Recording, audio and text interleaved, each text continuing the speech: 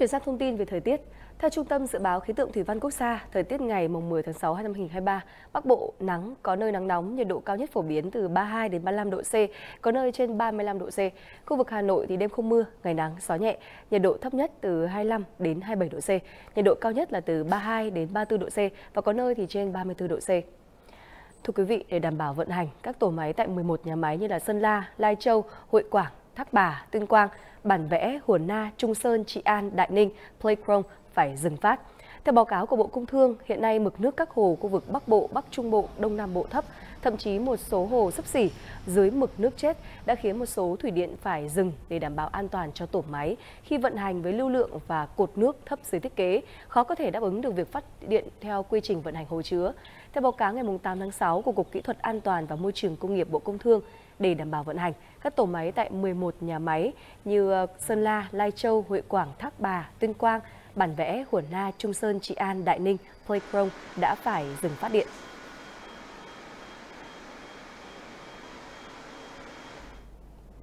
Có mặt tại Thủy điện Hòa Bình, nhóm phóng viên của Đài Hà Nội ghi nhận mặc dù đã có cơn mưa lớn, song thì à, dường như không cải thiện được tình hình thiếu nước trên lưu vực các sông. Ờ, mực nước hồ thì vẫn chưa được cải thiện và theo tính toán, nếu phát tối đa hết các tổ máy thì lượng nước này chỉ có thể giúp cho Thủy điện Hòa Bình duy trì thêm được khoảng ờ, 12 ngày nữa. Hiện tại thì cả nhà máy còn hai tổ máy hoạt động nối lưới ở mức duy trì, công suất tối thiểu sấp xỉ 16 MWh. Từ góc nhìn trên cao, Hồ Thủy điện Hòa Bình vẫn mênh mông nước. Hạn mức vẫn được duy trì ở mức ổn định. Hồ Thủy điện Hòa Bình là bậc thang thủy điện cuối cùng trên dòng sông Đà. Hiện tại, cả hai nhà máy thủy điện Sơn La và Lai Châu đã tạm ngừng hoạt động, nên nước được dồn về khu vực này. Tuy nhiên, ở khu vực cửa nhận nước, các dấu hiệu trên khối bê tông này cho thấy mực nước cũng đã giảm trên dưới chục mét so với thời điểm trước hôm nay.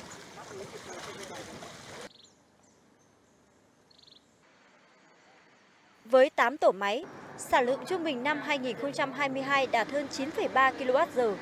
Thủy điện Hòa Bình đang là một trong những nhà máy thủy điện trọng điểm nhất của quốc gia. Và vào thời điểm này, nó càng trở nên quan trọng hơn. À, thưa quý vị, đây là khu vực à, điều khiển trung tâm của nhà máy thủy điện Hòa Bình và tại đây thì chúng ta sẽ cùng xem là cái công suất à, hoạt động cũng như làm việc của các tổ máy của thủy điện Hòa Bình à, trong ngày hôm nay như thế nào.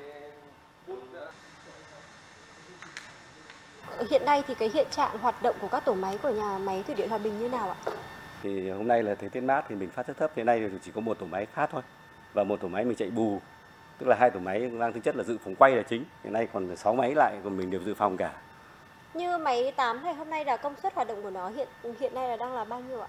Hiện nay thì rất thấp, hiện nay thì chỉ có 16 kia đúng không anh? Vâng, coi như gần như không tải. Là hồ thủy điện chính duy nhất ở khu vực miền Bắc hiện nay còn nước. Hồ thủy điện Hòa Bình cũng mang trong mình đầy lo âu.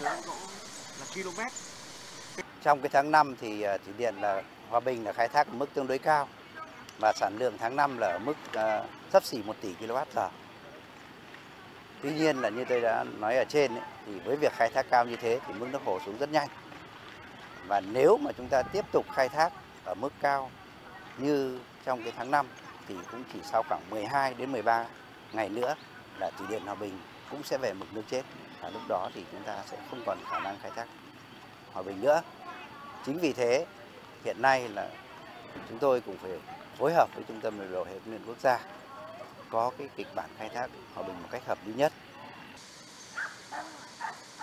Năm 2019, sông Đà cũng đã rơi vào tình trạng hạn hán. Nhưng theo thực tế hiện nay, vòng lặp năm 2023 đang diễn biến theo hướng trầm trọng hơn. Tại chính nhà máy thủy điện này, nơi đang phát điện, thì hôm nay cũng đang rất tiết kiệm điện. Trừ khu vực máy điều hành, các phòng làm việc đều không sử dụng điều hòa khi nhiệt độ dưới 35 độ C điện chiếu sáng ngoài trời cũng chỉ duy trì 25% công suất so với trước đây. Thưa quý vị, chỉ khi các tổ máy hoạt động với công suất cao, thì nước ở khu vực hạ lưu sông bên dưới thủy điện Hòa Bình sẽ rơi vào tình trạng khô hạn. Và những hình ảnh sau đây từ hiện trường hãy giúp quý vị thấy rõ hơn được tình trạng nghiêm trọng của vấn đề này.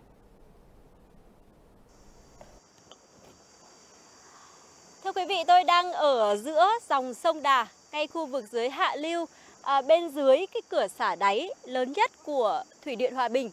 Và bình thường thì à, tôi không thể tiếp cận được uh, như thế này mà chúng ta sẽ phải đi thuyền ra bởi vì cái mực nước nó sẽ cao hơn cái hiện trạng ngày hôm nay khoảng tầm 4 đến 5 mét. Và còn hiện trạng bây giờ thì quý vị có thể nhìn thấy dòng sông Đà tại cái vị trí mà tôi đang đứng đây giống như là một con suối. Đáy sông bắt đầu cạn trơ ra. Và theo cái thông tin mà tôi nắm được, hiện nay thì ờ, Thủy điện Hòa Bình đang phải duy trì hoạt động cầm chừng. Còn nếu như hoạt động hết công suất thì chỉ trong khoảng tầm 12 ngày tới thì mực nước tại Hồ Thủy điện Hòa Bình cũng có khả năng sẽ rơi vào mực nước chết. Sông cạn, các hoạt động du lịch, tàu thuyền cũng đều bị tạm dừng. Chỉ có một vài người dân ra đây để giải nhiệt. Mới vào hè mà sông Đà đã đột ngột biến đổi, khiến chính những người dân sống hai bên bờ cũng ngỡ ngàng và xót xa. Đây là kỷ lục lịch sử đấy, lần đầu tiên đấy. Ở đây bốn mươi mấy năm lần đầu tiên thôi thấy cạn này hôm nay ra còn mấy này phò này. Có khi lên đây mực nước một ngày xưa nó cạn nhất nó phải lên đến mét chỗ trắng trắng đây. Có lẽ chưa bao giờ dòng sông này lại khao khát mưa như bây giờ. Những phiến đá trơ cứng giữa dòng cũng mong được ngày trở về lòng sông.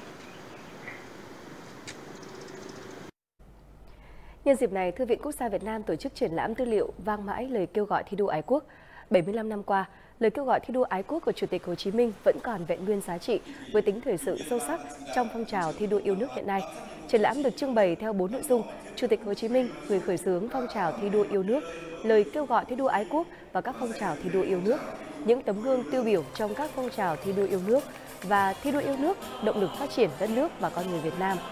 Với 600 tư liệu được trưng bày, triển lãm góp phần khẳng định sự trường tồn của tinh thần thi đua yêu nước, đồng thời thể hiện quan điểm của tư tưởng Hồ Chí Minh về vai trò quyết định của quần chúng nhân dân trong đoàn kết toàn dân, khơi dậy lòng yêu nước, sức mạnh tiềm tàng trong mỗi cá nhân tập thể, tạo động lực cho sự nghiệp cách mạng Việt Nam. Bên cạnh đó, đẩy mạnh việc học tập và làm theo tư tưởng, đạo đức phong cách Hồ Chí Minh gắn với việc triển khai có hiệu quả các phong trào thi đua yêu nước. Hội Người mù thành phố Hà Nội tổ chức kỷ niệm 75 năm ngày Chủ tịch Hồ Chí Minh ra lời kêu gọi thi đua ái quốc, tổng kết phong trào người tốt việc tốt năm 2023 và tổng kết 25 năm công tác phụ nữ và trẻ em. Trong suốt hơn 50 năm qua, cán bộ hội viên Hội Người mù thành phố Hà Nội đã phát huy tinh thần tàn nhưng không phế, luôn đoàn kết khắc phục khó khăn, đẩy mạnh thi đua trên tất cả các lĩnh vực. Học tập và làm theo tư tưởng, đạo đức phong cách Chủ tịch Hồ Chí Minh, người khiếm thị đã thi đua sản xuất, đoàn kết giúp nhau làm giàu, giảm nghèo bền vững, học tập nâng cao trình độ kỹ năng xã hội, bình đẳng hòa nhập cộng đồng. Nhiều tấm gương người tốt việc tốt đã có sức lan tỏa trong cộng đồng. Kỷ niệm 75 năm ngày Chủ tịch Hồ Chí Minh ra lời kêu gọi thi đua ái quốc, người khiếm thị thủ đô càng nhận thức sâu sắc hơn về tư tưởng thi đua yêu nước của người, tiếp tục năng động sáng tạo thực hiện các phong trào thi đua yêu nước, xây dựng hội ngày càng phát triển.